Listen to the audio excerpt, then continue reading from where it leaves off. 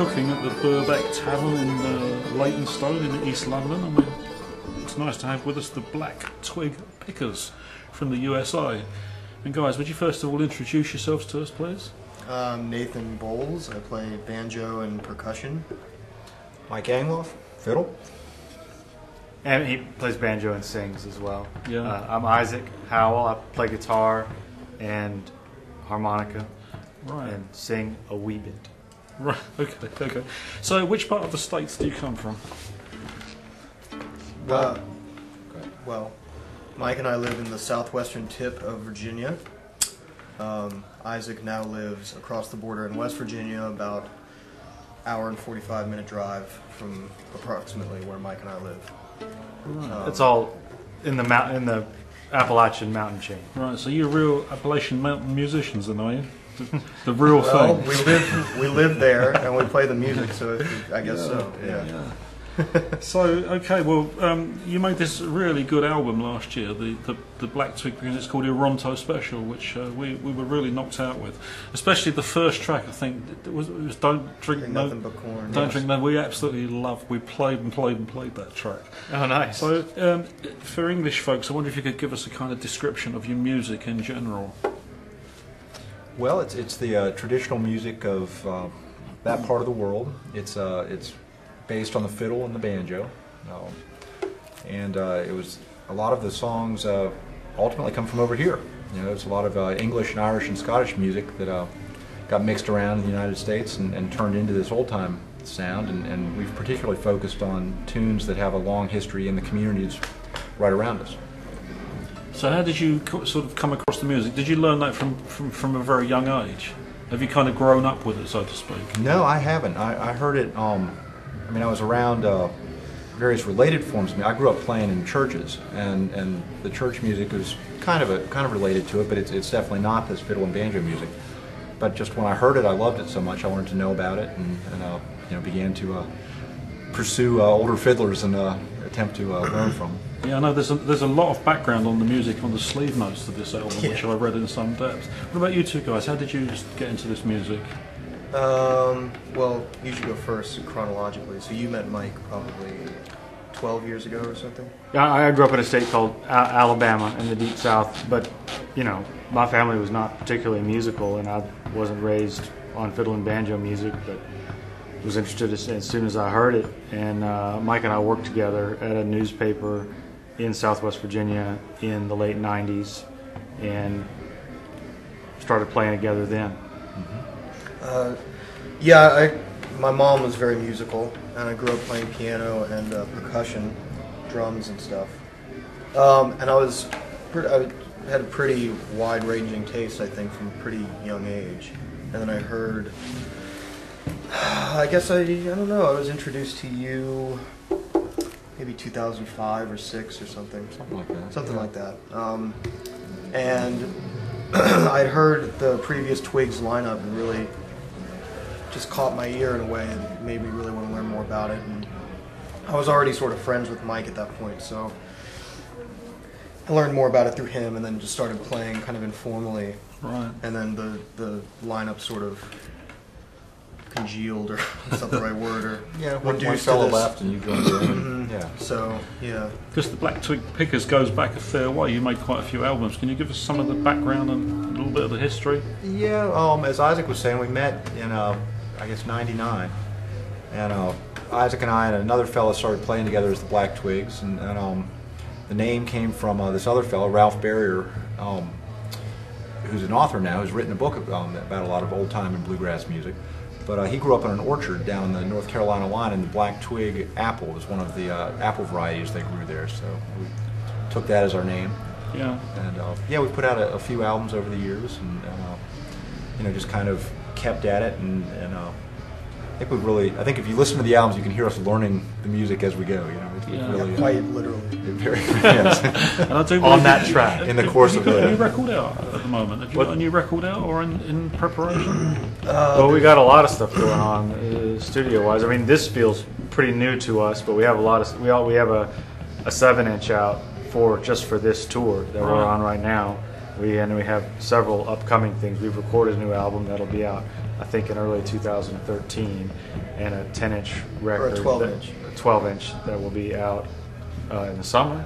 Yeah, Late I summer. think in July, like a 12 inch 45. Well, on, vinyl, on vinyl, yeah. Mhm, yeah. So like two yeah. side long, about 12 minute ish sort Extended of extended dance songs. kind of Wow. flat footing music with a, they're like with the- big group. Yeah, with a big group with uh, and and, with dancers. dancers and mics on the feet and Oh, wow. Yeah, so that's extended dance piece. We- We've been getting better and better and having more and more fun playing for dancers. Yeah. We do that once a month, and it's dance music, and we love rhythm, and it's also just fun to play for dancers. And So we're, here in North London, where we are, we've, the, the main kind of live music we've got is in pubs.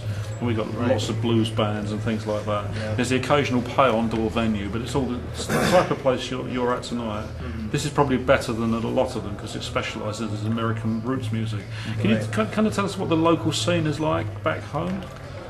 Well, there's a lot of people. There's a, a community of, of old time players, which Yeah. is the, one of the main differences of say living in some other place is that we there are these festivals every summer we go camp at, and you meet dozens of other players. You play all night long, and just keeps it all very alive, and that, that's a, a great thing that happens every year. So that's not a venue so much, but we play. We you play on stage. You compete on stage. Yeah. Uh, at these uh, at these We also play conventions. like bar gigs. Yeah, we play pub. and We play dances pubs. and um, you know clubs every now and then if we're traveling, part house parties, Community events. community yeah right community kind of events. So So, how popular is this music in, in America, say, compared to say rock music and that, uh, at a local level? You know, in bars and things. oh, and on a local level, I mean, I, you know, like Isak was saying, there's a fair amount of obviously the people and there's many people in the area who play this kind of music. Obviously, they enjoy it, but there's also an audience that I think is a little more open to it. Um, I mean, it's a little different than sort of the more popular bluegrass you're going to be hearing on internet radio or in sort of mass media. And so, but I, I still think there's enough crossover where the general public seem, in our area seems to at least be, you know, up to listening. Yeah. Um, Yeah. yeah. So I Rock mean, music's more popular. that was a, yeah. That was so that was my way of. But the, the traditional music in America seems to be very strong. I mean, we're, we're seeing endless no, musicians coming over Yeah. and bringing this music over. Seems to be holding fast against all odds, you know, which is. Yeah, I think.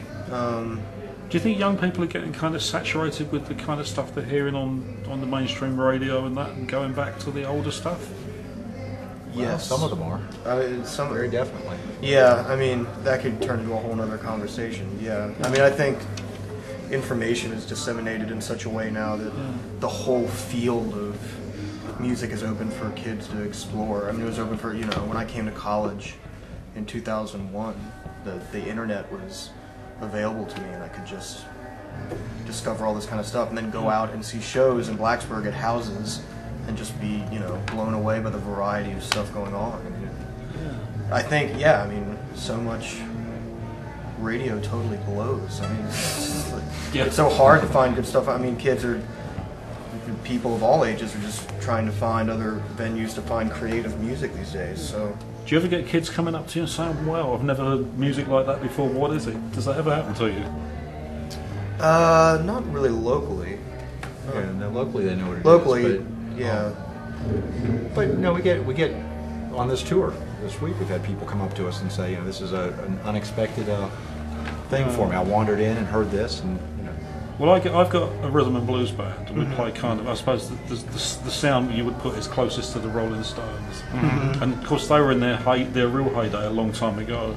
Oh yeah, we're big Stones fans. of Yeah, certain yeah. era, We sometimes sure. play, you know, we play a gig, and the young kids who've really only heard what's on the radio come up to us and say, "Well, that is fantastic. Where does that music come from?" You know. Yeah. So we're kind, we're kind of re-educating in a way, aren't we? I think. Yeah, All of us. It's true. Well, Yeah. you try. I mean, you just try to spread what you love.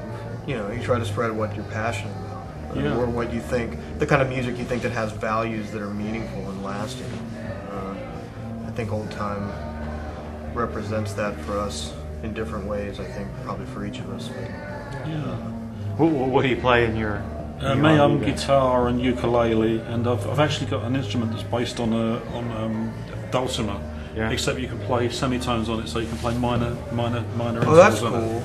Yeah. That's cool. Yeah, Dulcimer's interesting. I You just started messing around. I with started kind of messing around with one that my girlfriend got, and it's, it's sort of like, yeah, the no semi. It's the fretting is like if you're trying to. We've got all the so in between frets on this one, and it's, it's tuned modally, so I can play kind of that bluesy minor key stuff. It's Yeah. great. It really opens people's eyes when they see it. That's Nice. really cool. Because it, it's it's deeper than a dulcimer. It's a different shape, but it's related. You know, people Yeah. come saying, "What is that instrument called?" And we say, "Well, actually, it hasn't got a name. You know, someone just made it, and we bought Oh, it." Oh, I see. So it's So sort it hasn't got a modified name. dulcimer. Yeah, That's yeah. cool. yeah and it's uh, got a phenomenal sound. Yeah, it's got a great amplification system in it. So if we, we plug it into the PA system, Yeah, yeah. you get this beautiful, almost wall of acoustic sound. It's fantastic. Oh, I'd love to show it to you sometime.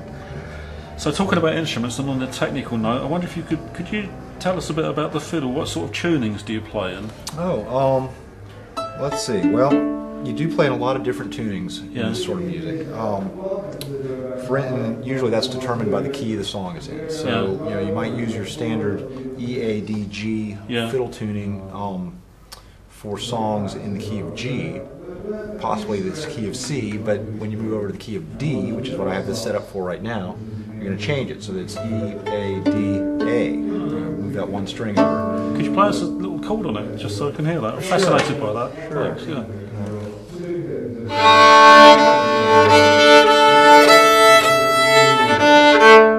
Right. Yeah. And do you change fiddles during the gig, or do you, do you, do you, do you detune?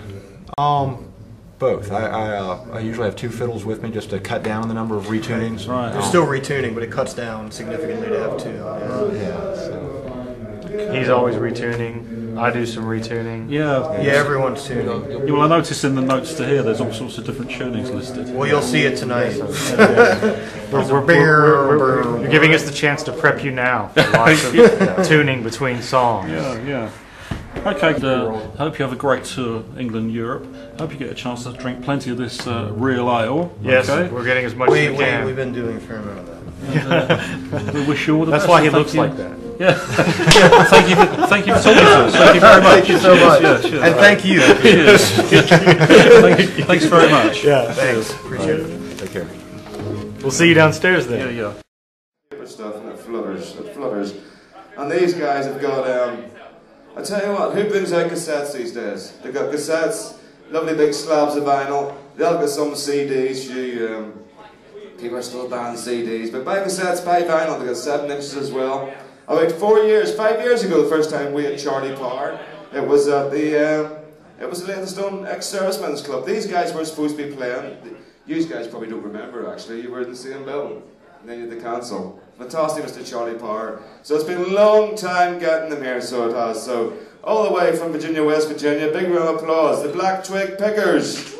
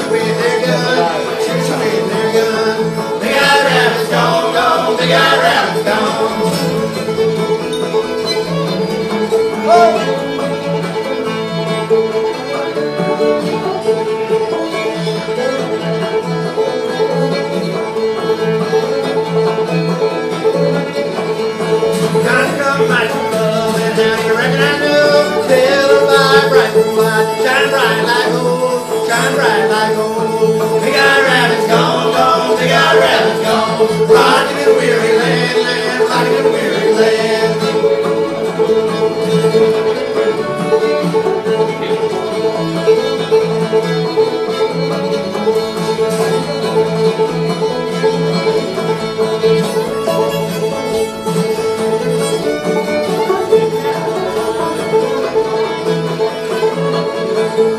Rockin' weary land, land, rockin' weary land weary land, rockin' weary land, rockin' weary land, rockin' weary land.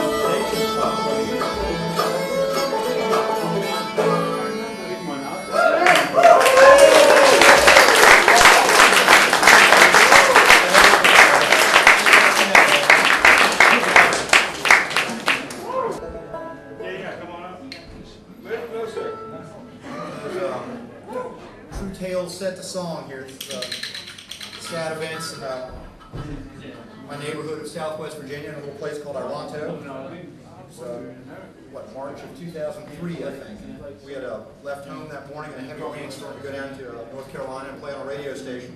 Yeah. About midday, we finished up with that. We're headed back, and we find we can't get home because the roads are all flooded. It took uh, many, many hours to, to wind around the flooding and get back home. But the song is about uh, what was going on in the meantime. So this is Rivers Flooded, Robin's Drowned.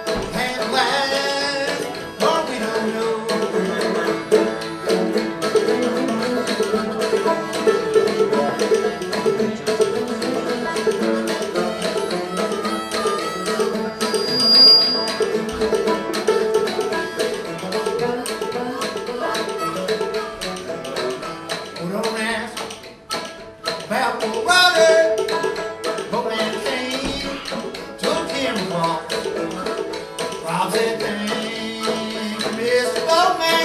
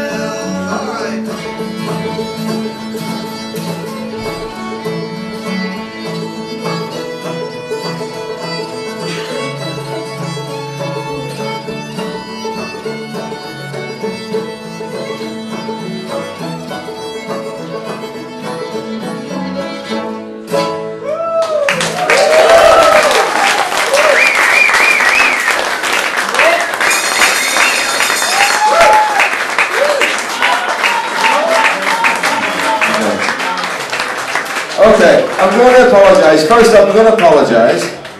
But sad we need some sound, a little bit of sound tonight. Now, um, I bought this old condenser microphone a few years ago. I've never used it before and had the bugger the wrong way around. In your face. Absolutely no application at all. Fantastic, fantastic, absolute pleasure. Please.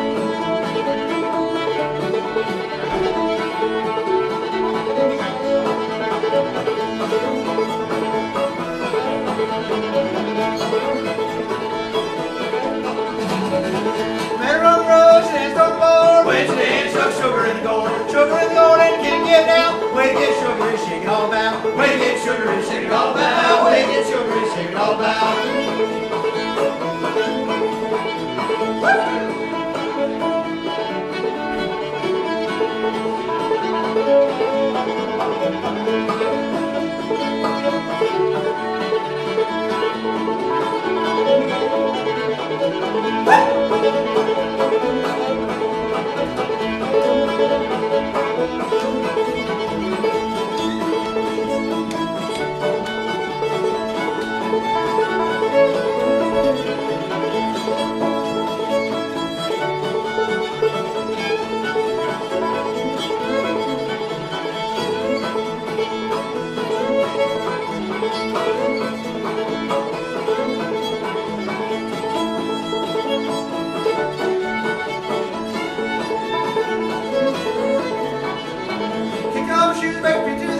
dirty old feet and thighs go by. Over and dirt, back to the boat, all around the world there's sugar and gold. All around the world there's sugar and gold. All around the world there's sugar and gold.